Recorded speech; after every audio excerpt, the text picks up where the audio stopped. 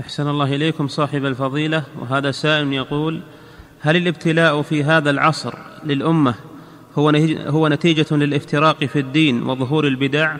الابتلاء قديم مع الخليقة منذ خلقها الله. الابتلاء موجود والامتحان موجود. ما هو خاص بهذا الزمان.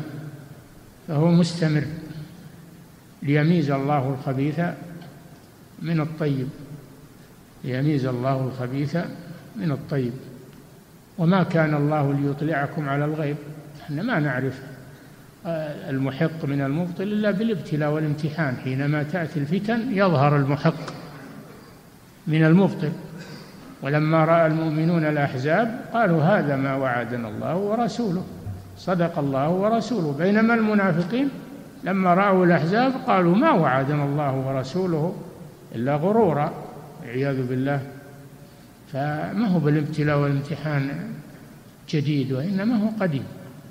حكمة من الله لأجل يتميز المؤمن الصادق من المنافق. نعم. إعداد مشروع كبار العلماء بالكويت أعزها الله بالتوحيد والسنة.